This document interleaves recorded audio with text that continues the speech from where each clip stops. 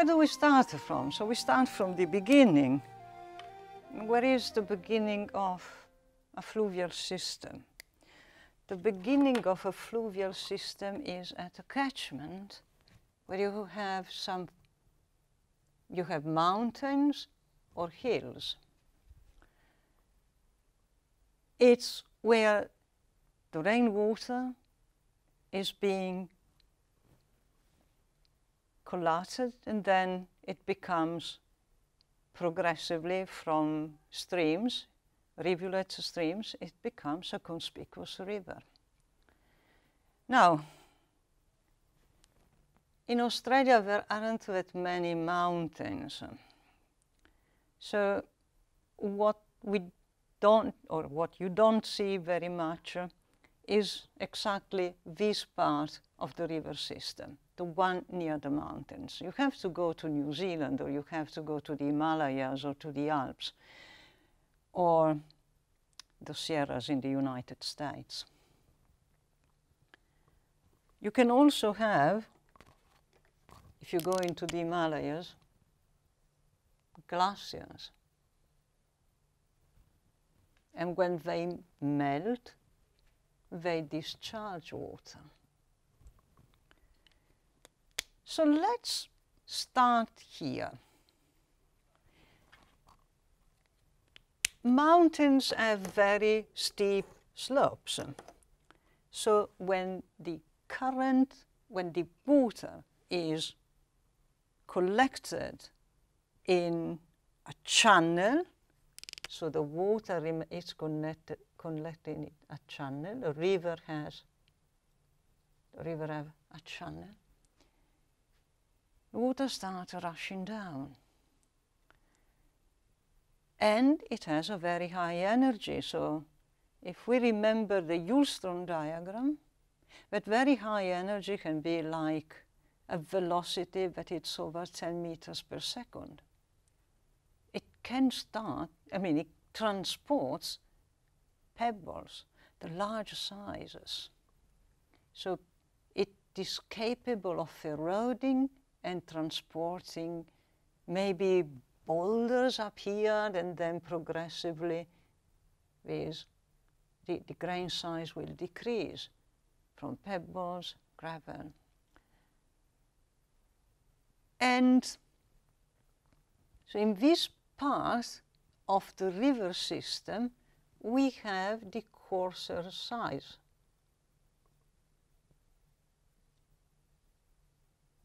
that are being transported and deposited. There are cases, and this is very frequent in all desert regions, where you have like big thunderstorm every once in a while. Now, if we are in a like in a situation like this where night and day temperatures are quite different, we know that the water that during the day melts and goes into tiny little fractures in the rock, at night freezes and blasts the rock, so it forms big chunks, I mean big grains, big boulders, big pebbles. And these will be angular, remember, angular. Now, due to the force of gravity alone, with no water, they might just fall towards the bottom of the mountain. So they will form a rock if when, when the clasts, large clasts, are cemented, compacted, and are angular like this. This type of rock, consisting of large fragments, angular, is a breccia.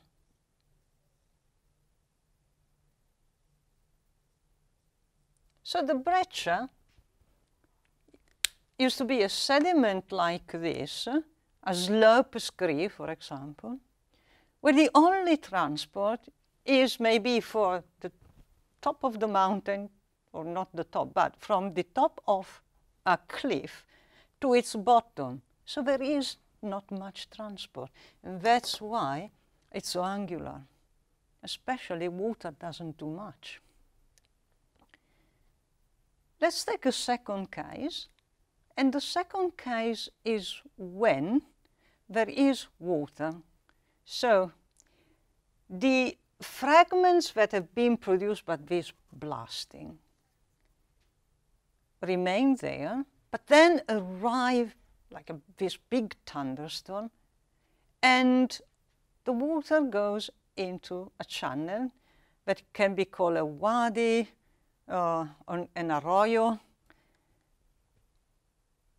and start to transport this material. But not just this material.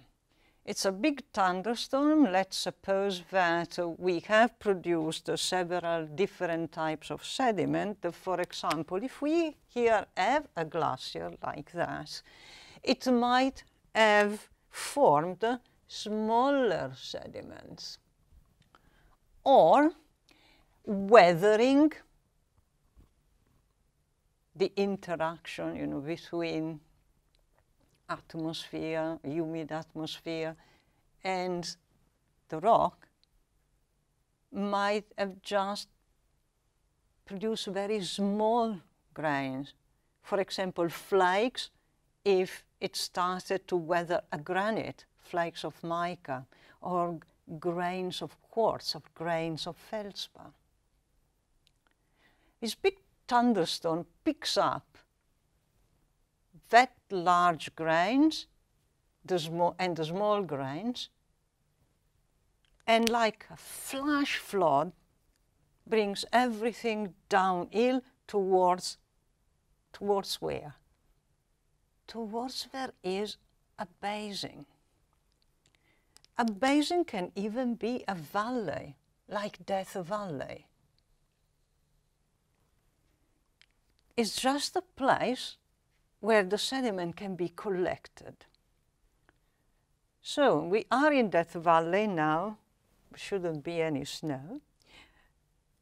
The sediments are brought down and in, we shall imagine that in this condition there is a very tiny valley, so the channel is in this valley, and here there is the plain.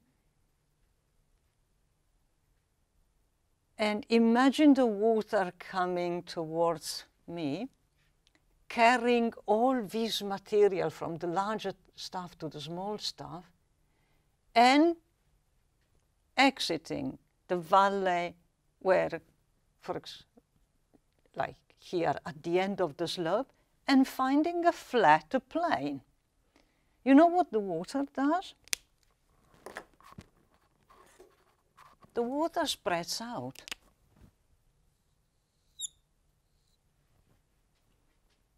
Like a fan. It forms a fan. And because it is associated to water, to a stream, it's called an alluvial. This is a U. Alluvial fan. So if you look, if you Google map Death Valley, you will see that it is full. The bottom of the, that valley is a coalescence of alluvial fans. And the alluvial fans migrate. So every time this happens, so every huge storm, Maybe it will prefer, the water will preferentially go this way and deposit here, or go that way and deposit there. So it forms what are called lobes. So this grows like this. And each of these lobes will be due to the discharge of one of these, let's call it catastrophic floods, that at time change their direction. And that's why, in the end, you have such a beautiful fan. The internal structure of this fan is quite complicated. But one of the things that by now you should somehow hypothesize is about the type of, I mean, the distribution of the grain size from here to the bottom of the fan and the sorting. So is this going to be well sorted? How about here? Now let, let's think about the fact that you have a body of water full of sediments, so it looks muddy, that all of a sudden goes out of the valley and spreads. So it, the, the velocity de decelerates real quickly and it spreads at the bottom of the valley. So what I think that we should find is not a very well sorted sediment, and probably we find a mixture of grain sizes. Because what happens? I told you that the water comes out, spreads, but also it some of it will flowing along a major channel. So where the major channel is, so there will be major channels through time. Where a major channel is, is where the highest energy is.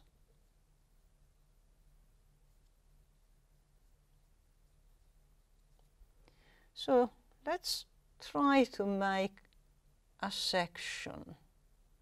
So slice like a cake this alluvial fan. So imagine that this is our alluvial fan. And we are slicing it like this. I'm trying to make this look again. I'm not very good at drawing, but I'm trying to create this block diagram. So in time, you also will be able to create your own block diagram. So this is the top of the alluvial fan here, and this is the bottom more or less here.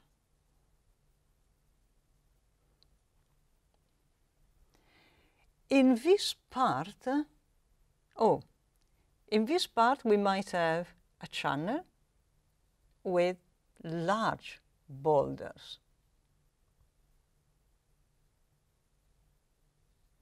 And here we will not, in the channel, so imagine this is the channel.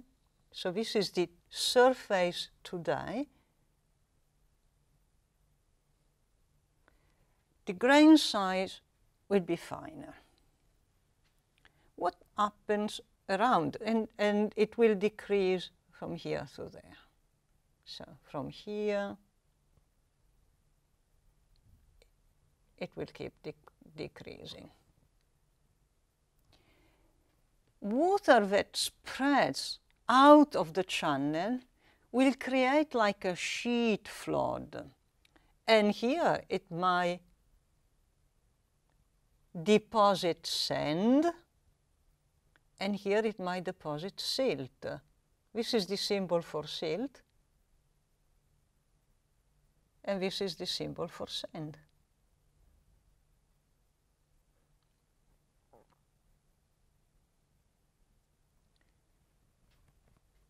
In the end, we can if we go farther away, we can just have actually mud.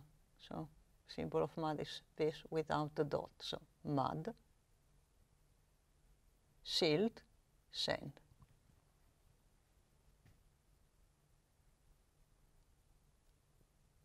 Because it's a sheet flow, so it's still flowing, maybe here it forms ripples. So we will have a little bit of cross stratification somewhere here, which we see here. We see it on the flanks, right? So cross stratification, this is the direction of the current, sorry, so cross stratification, cross stratification, cross stratification, a little bit of a parallel lamina.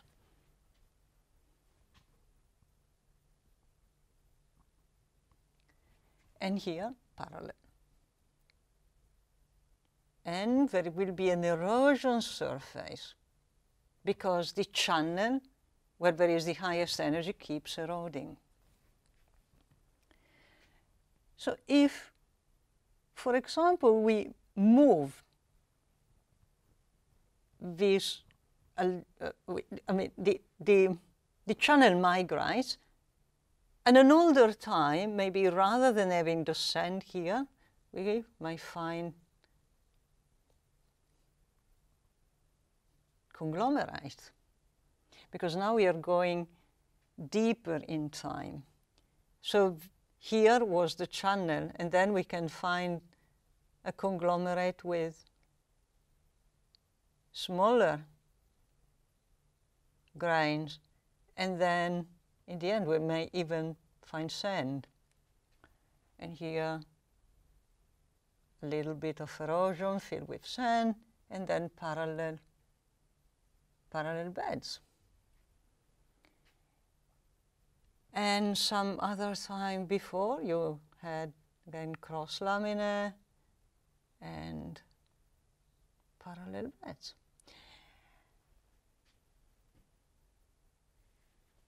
maybe if we move farther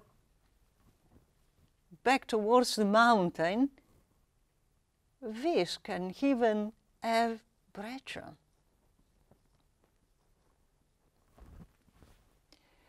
And we will have a poorly sorted conglomerate because the current dumps everything just once it comes out of the valley. So alluvial fans are characterized by a mixture of grain sizes. The grains are rounded but not extremely well rounded because the transport hasn't been very much.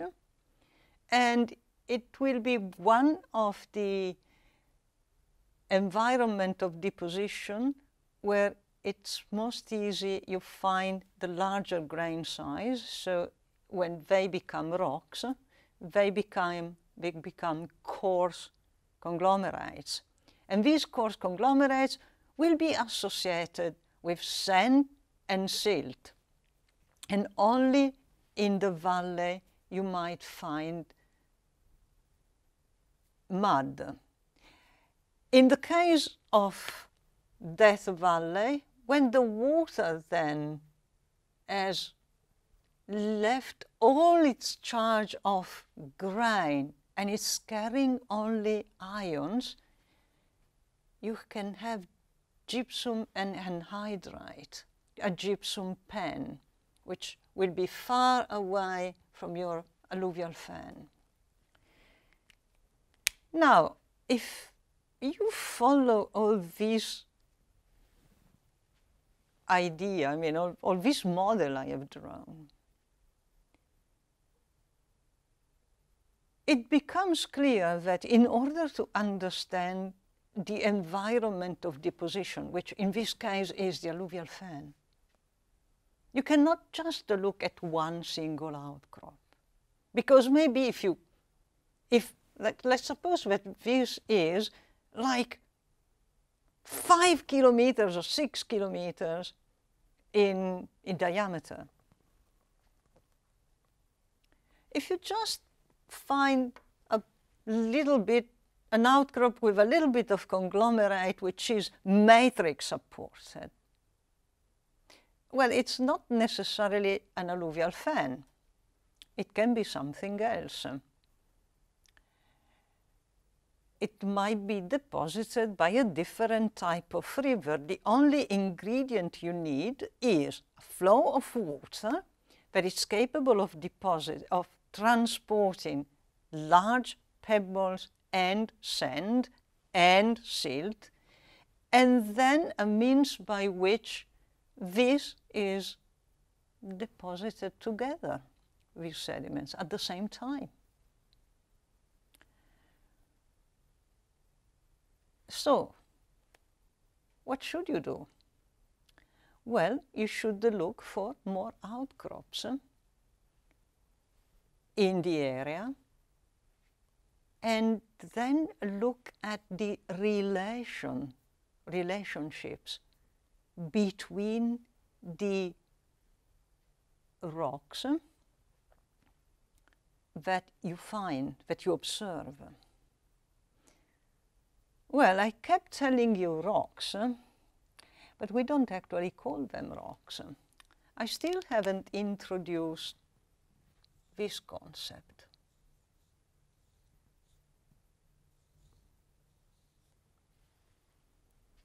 Facies. In Latin, it means face. So it is the appearance of the rock. When I say conglomerate, Okay, conglomerate is a sedimentary rock. But apart from that, what other kind of information do you get? Very little. Apart from, yes, okay, it's a sedimentary rock that is consisting of clasts that have been transported transported by a water current. But what else is it telling you? Nothing more than that. In order to go from a rock to the environment of deposition, it is important that we look at all aspects of that rock and at the relationship between different facies, meaning different rocks with their different characteristics. So what are the characteristics? If we look at what I have crudely drawn, what we see is that we can have an association of a conglomerate And this conglomerate, let's look at this. Well, is poorly sorted.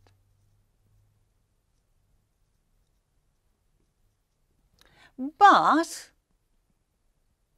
it seems to be, the cluster seems to be touching each other. So it is grain supported. And you know what? I didn't really draw that really nice because I forgot the, the cluster could be aligned. So there is something called imbrication. I'm looking at a sediment, a structure. So I put down also imbrication, grace. And what else? I start looking for fossils. Maybe you know, I, I find, if I'm lucky, relics of wood. So I also mark the fossils.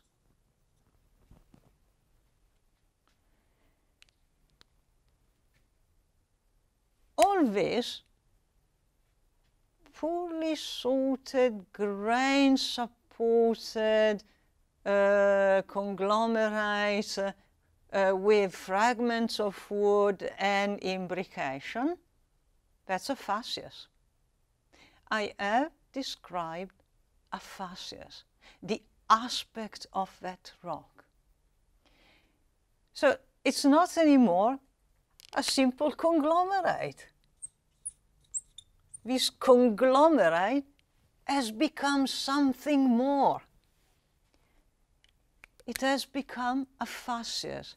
It has become a lot more information about the environment of deposition, about what and where this sediment was deposited. Now, again, if I take this, oh, I need a little bit of space.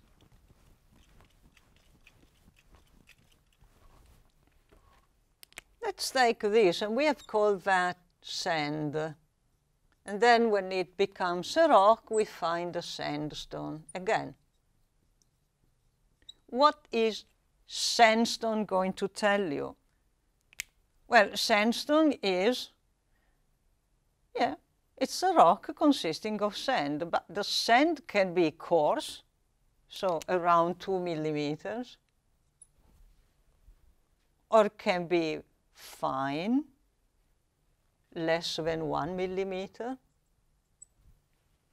The sand can be all the same size or a variety of sizes.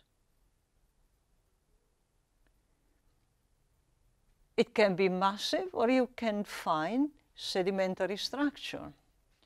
It can consist all of one mineral or of diverse, diverse minerals. And again, I mean, within the sand, you might find silt. So the grains might be immersed in a fine, or associated to a finer matrix.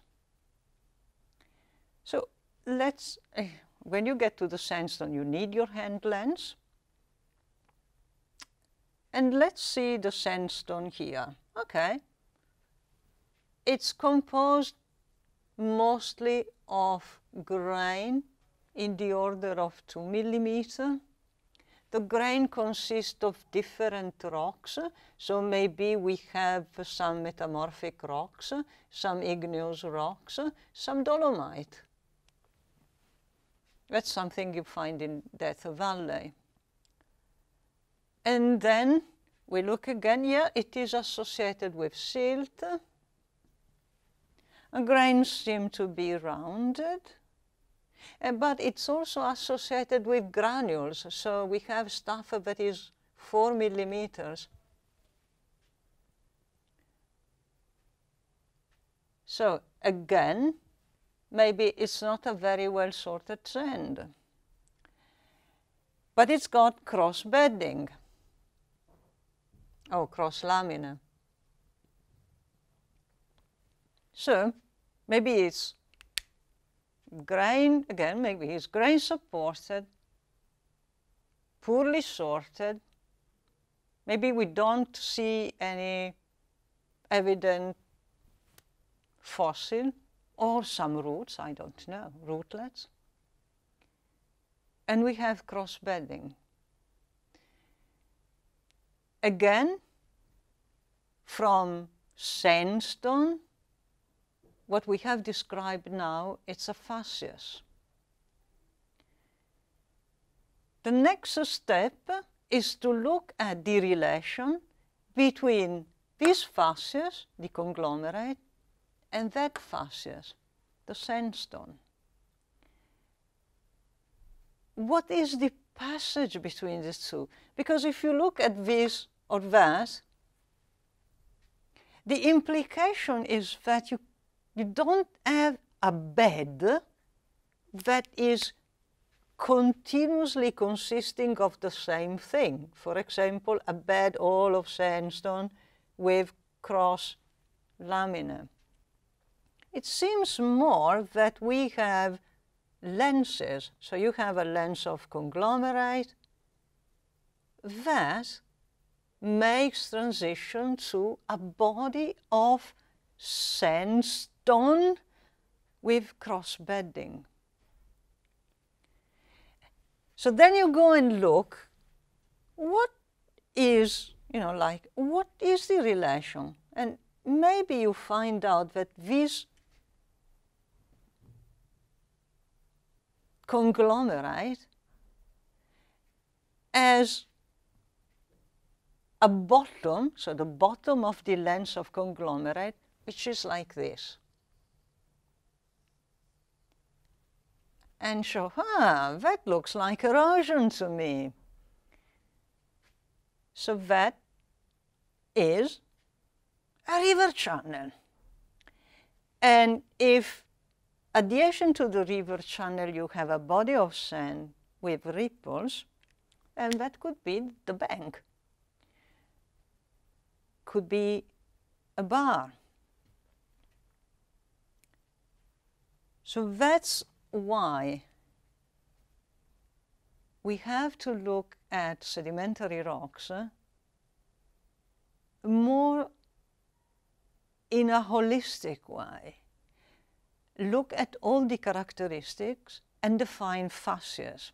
And then the definition of facies is really bizarre because in practice, a facies is a body of rock, of sedimentary rock or sediments with characteristics which are different from another facies, are different from what surrounds them. So that's the definition of facies. In practice, what, what does this definition mean? It means that you have to look at your sedimentary rock and describe it carefully and describe all the characteristics, the texture, the structures, and the fossils,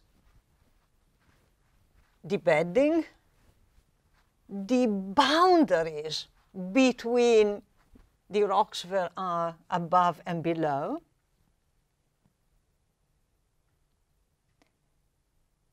And from that, you get to the environment of deposition.